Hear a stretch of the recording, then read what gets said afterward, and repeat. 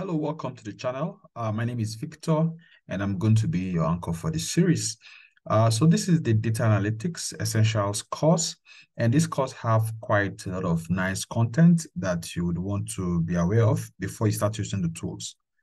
Because it's very important to get the principles, get the processes, uh, get the guidelines. Then once you start using the tool, it's going to always be very, very smooth and easy.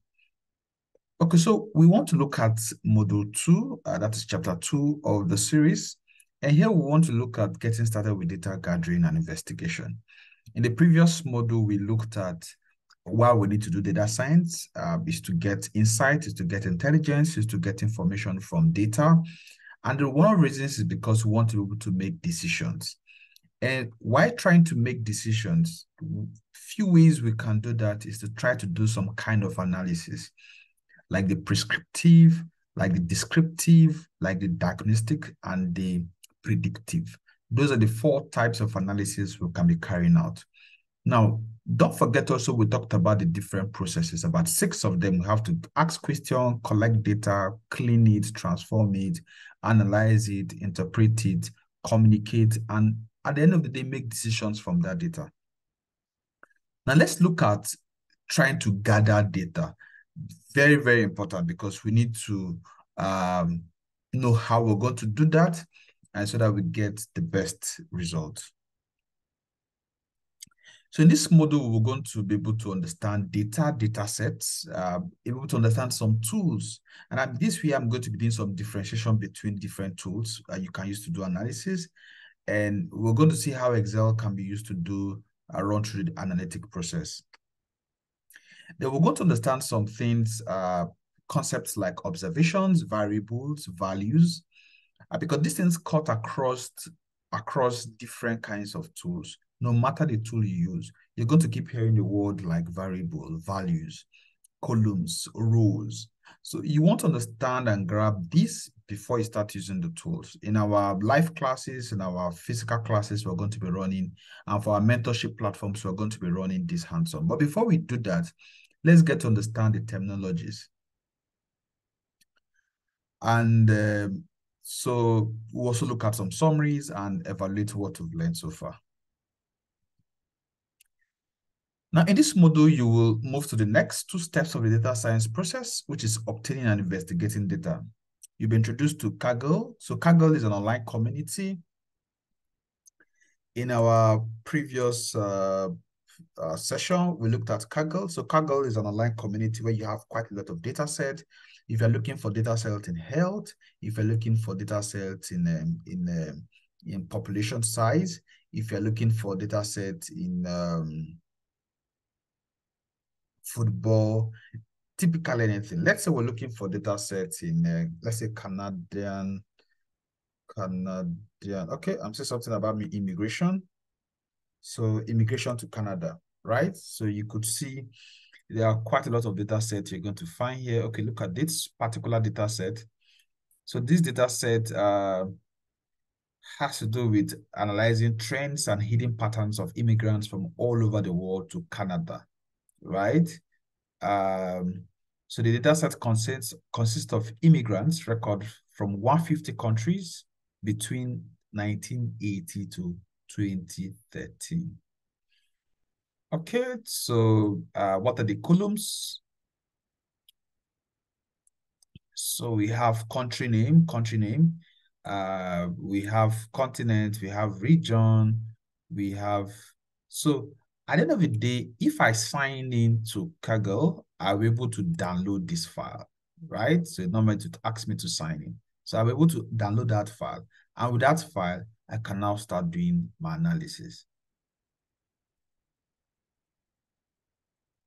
So Kaggle is a popular community where data analysis, analysts, scientists, AI enthusiasts collaborate. Uh, you can also get some valuable hands-on experience using Excel, one of the world's most used spreadsheet, spreadsheet uh, technologies. Uh, some of the module objectives is that we want to be able to know the common tools being used, uh, get to know some basic Excel functions, and be able to explain how variables and values are used in data analysis.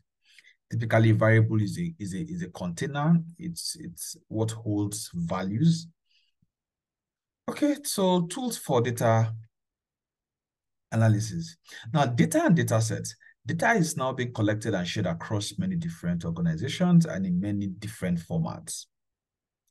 Now, the data set we tried looking at earlier on, the data set was going to be, I think, CSV, so comma separated value. Right? Let me see. I think I'm going to, okay, this is it. So Canadian immigration, this is kind of wrong, immigration underscore data dot CSV. So comma separated value is a type of data. So you have Excel, you have um, XML, you have quite a, quite a lot of uh, different types of uh, different types of uh, uh, data sets. Okay, so data sets often contain multiple related files stored in different formats. Information about a data set, including the description of what it contains and how it is formatted, is called metadata. So metadata is data that explains data.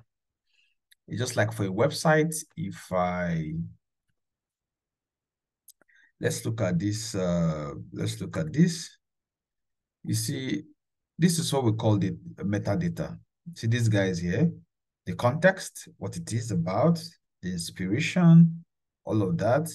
So the inspiration behind this data is we want to do some visualization. Then we want to see if we can look out for hidden patterns. Is there a, is there a country where you have more uh, um, immigration to, to Canada? Uh, is there a pattern?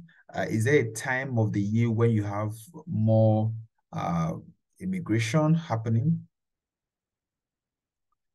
Uh, so just a second. So this is its metadata. So metadata is just what we work, what we looked at now, and see the data. See some of the visualization. Okay, this is just people downloading it.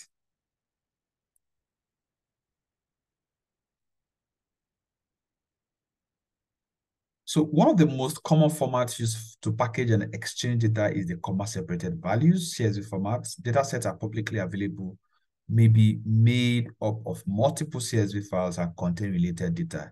Just like you can have an Excel sheet, uh, is going to have different, you have an Excel workbook and it's going to have, uh, what's it called, different sheets. So for further investigation, we're going to be dealing in our hands-on sessions, we're going to be dealing with mostly CSV file or XLS file, that is Excel file format.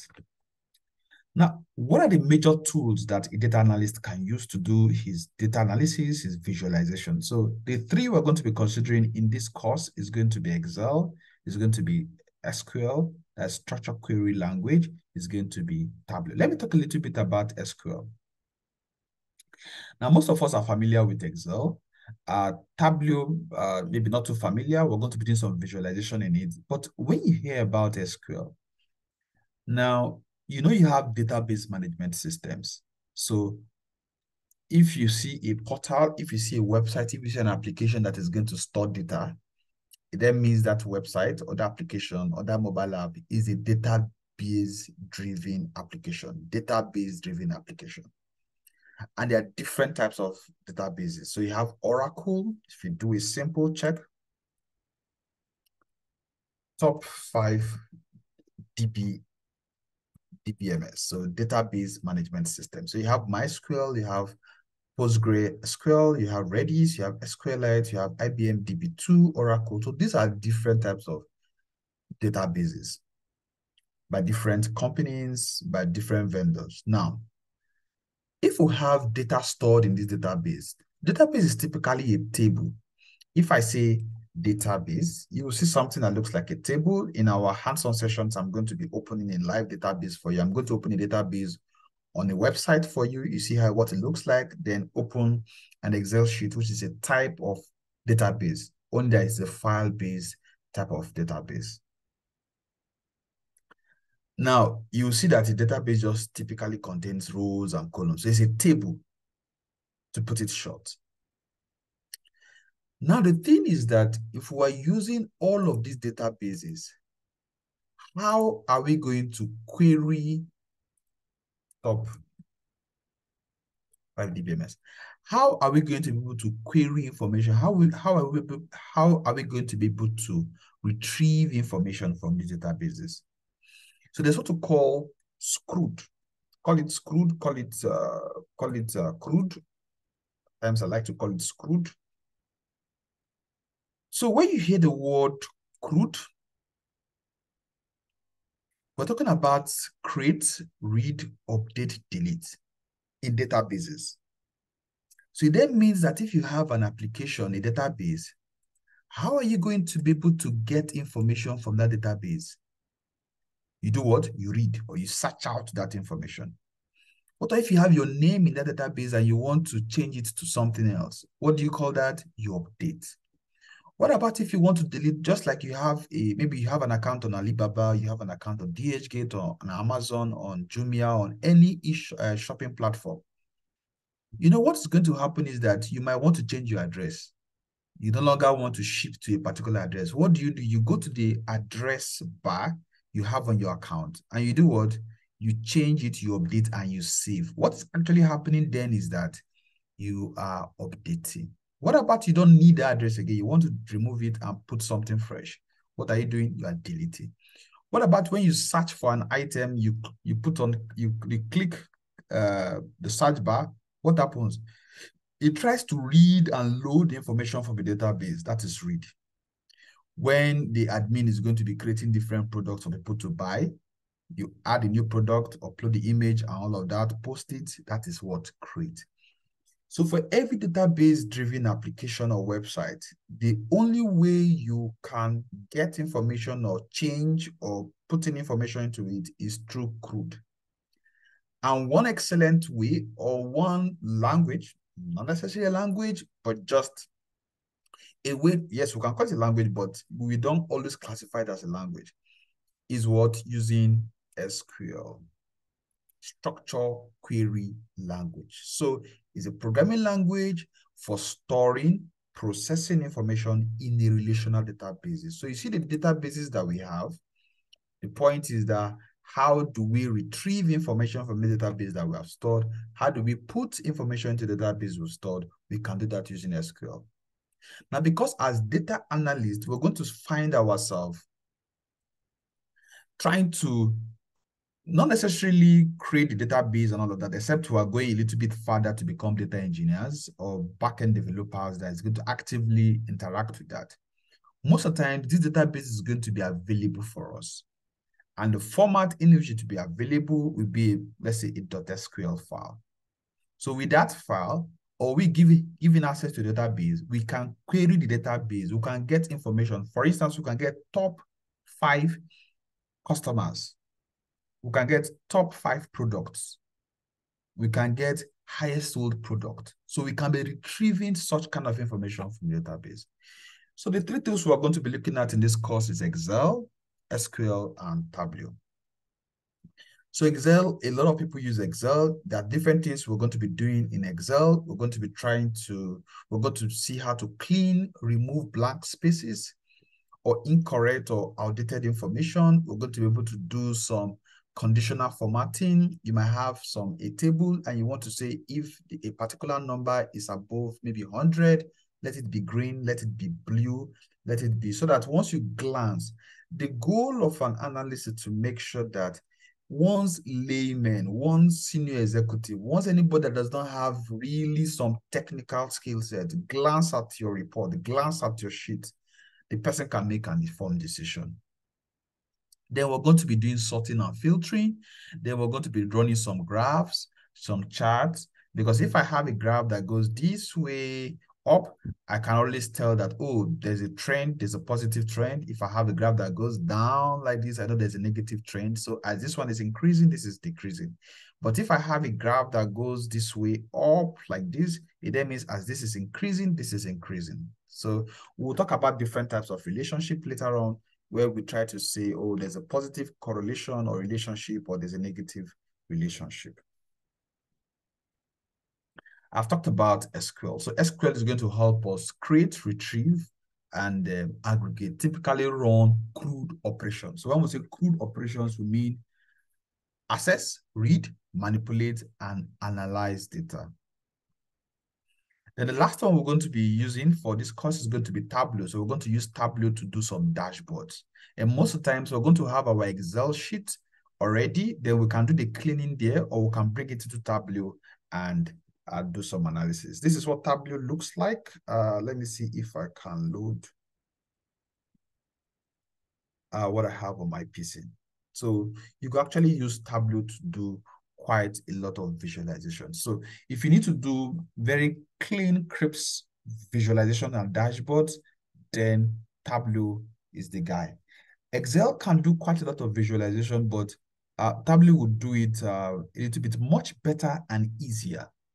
So if another tool that can do this more faster for you is Power BI. And we're going to be considering the Power BI series later on. Uh, because in Excel, if you want to create a dashboard like what you're seeing here, you're going to create pivots. Once you create pivots, you can now, pivots are like summaries. If you have an entire sheet, you want to create the summary of it, you want to create a summary of another sheet, you want to create a summary of another sheet, then you now, for each of those sheets, you now create pivot charts. So this is a chart, this is a chart, this is a chart, this is a chart. You now put everything together. That's what makes up your um, that's what makes up your dashboards. So your dashboard is a combination of several uh, charts. Look at this chart I did some time ago. Uh, what was happening here? Open from localhost, where Tableau is configured to new open Tableau public. Uh, open in Tableau public. Oh, let me see. I'll have to sign in. I don't want to sign in right now. Okay. So you see, is this trying to release open? So you see that all of this dashboard, okay, this is open. All of this dashboard, this is what the Tableau environment looks like. So you could get your data in Excel sheet, right? And you can come on Tableau and you create awesome visualization. So a visualization, a dashboard is an aggregation of several uh, charts, right? Okay, let's try it on. So uh, Tableau is one of the most used data analytics and visualization tool in the market. Visualizations are an important way to present data in a format that can be easily understood, right? Tableau is a data analytics market leader due to the depth and quality of the visualization. Uh, but I, I have a bias for, for Power BI. Uh, so people have different choices. Some people still prefer to use Excel. Some people prefer to use Tableau, some Power BI, some. I, I used to have a student that was very, very good in in in uh, what was it called in uh, using choropleths, using different kinds of uh, uh, Python libraries to do most of his chart. Now, so it's a matter of preference. And one thing, one good advantage of learning more than one tool is that uh, you're going to get some gigs, you're going to get some jobs, you're going to get some tasks, and some of them will typically need a particular tool. So if you are good with that tool, it makes your work a, a whole lot easier. Okay, so this is what Tableau looks like. So this is a data, I think about, this should be roughly about 10. Let me see. Let me go back to data source. Uh, don't want to open a data source now. So this is roughly about about, I think, two, 3,000 data sets. So you have different sheets. So this is sheet one. This is sheet two, sheet three. Are you seeing the corresponding dashboard? Sheet four, sheet five, then sheet six, right? So each of these sheets uh, made up give each of these charts and all of the charts are brought together. So at the end of the day, you have one, two, three, four, five, six. You have six charts uh, helping you to deliver. So Tableau is very, very, very awesome. Um, let me go to this uh, by segment, profit made by segment. So if I go to this visualization now, you're going to see that uh, these are all the original tables. I could say, okay, uh, this is a this is customer segment, customer segment. Where is it? Customer segment. So I can give it a different uh, color shade, right? You could decide to include the labels for it, uh, indicate all, show the marks, right? So you could do very, very nice, amazing chart. So how did I do this chart? It's a very straightforward process. I could remove all of this. So in Tableau, you just say, let me remove this one also remove. So you just say, okay, I have all my the columns in my table. Uh, what I just need to do is, okay, what I just need to do is to say, okay, I want to do for each product category, I want to know uh, how much quantity was ordered.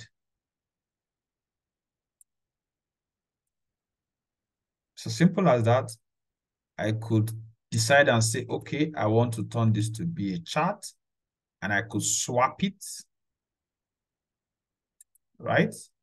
And I could say, okay, this same supplies, the same quantity, I want to, where's the guy? The other quantity, I want to have the colors different, right? I mean, that other quantity other quantity. I want to have the colors different.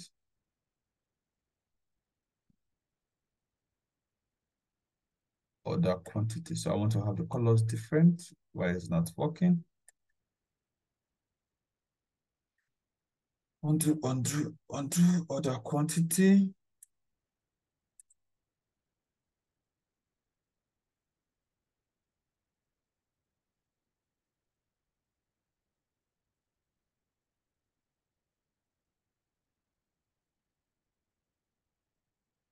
Other quantity. I don't like these colors. I could tap on these and edit the colors and say, okay, uh, I think it's doing uh, monochrome. Let me go and say, okay, just a second. I would have, uh, let me change. Edit colors, opacity, border automatic, uh,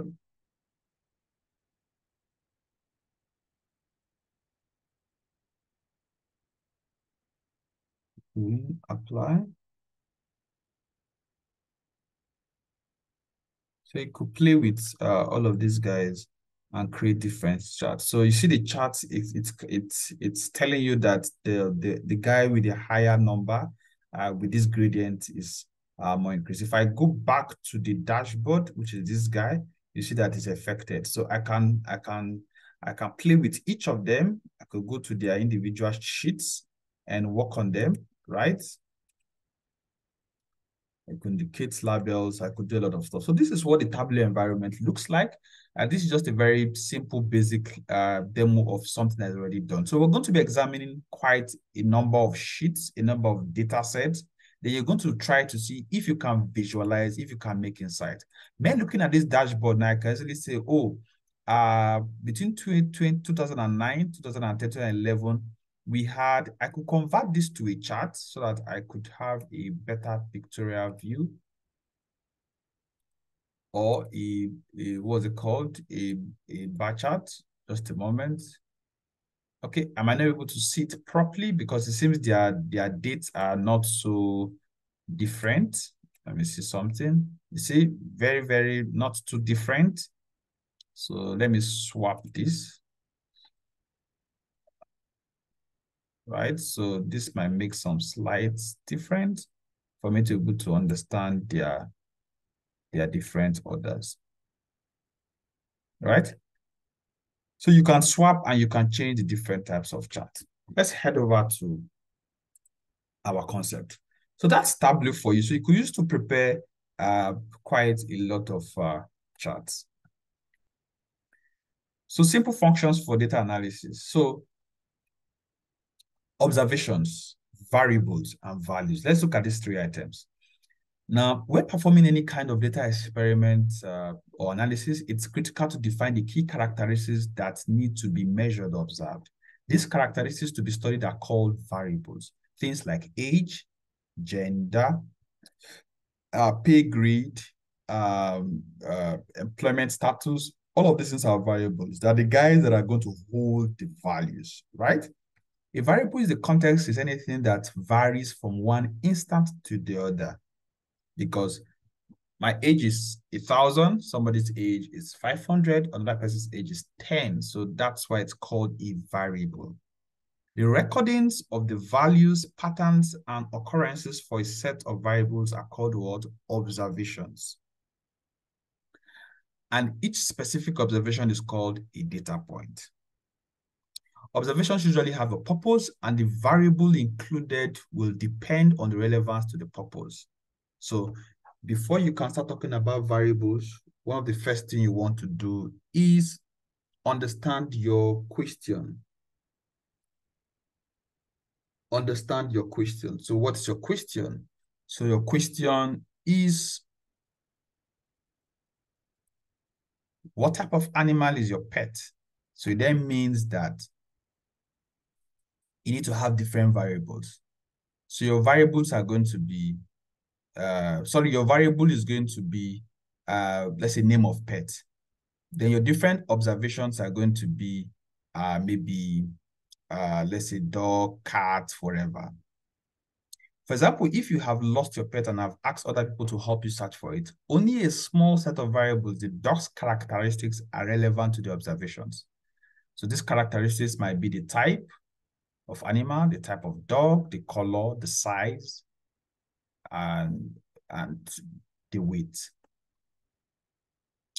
Types of variables. Now, I will bug you a lot if we're doing SPSS, and we'll come to that. Maybe in the series, I'm going to do a series on SPSS. And SPSS is a very excellent tool where you want to do uh, a field-based research. But at this point, one thing you should understand is that when you have your data, your data is going to come in different classes. So we have what we call categorical and numeric or textual and numeric. And at times, our textual variables, we can put numbers to it for easy analysis. So there's what we call nominal, ordinal, continuous, discrete. Let's take some examples very quick.